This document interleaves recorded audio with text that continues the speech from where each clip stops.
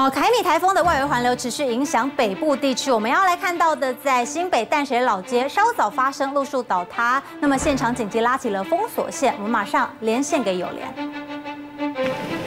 好，主播各位观众，持续带你来关心凯米台风的最新状况。那么现在目前在新北市淡水老街这边，稍早也传出有路树倒塌了。透过画面，您可以看到呢，就是在老街的中间这里有路树是直接不敌强风被吹垮。那么呢，许多的树枝也是被吹断了，是直接掉在这个地板上面。那么当然，你也可以看到啊，这个树是整个往左侧倒，是直接卡在另外一个树上。当然呢，再来透过这边的画面，也可以看到，包括像是这里也是有连根。拔起的状况可想而知。今天早上在新北市淡水这边的风势还是蛮强劲的。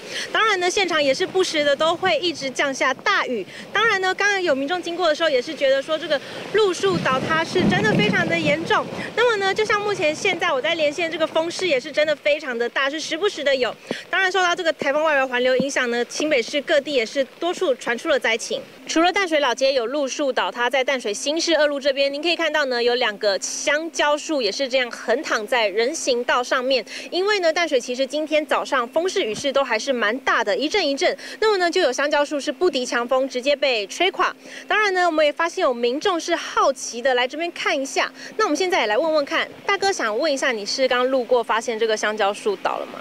对，刚路过啊，以为是树倒了啊，走近一看是香蕉树啊，发现哎还有香蕉在这里这样，所以就好奇的来看一下这样，是。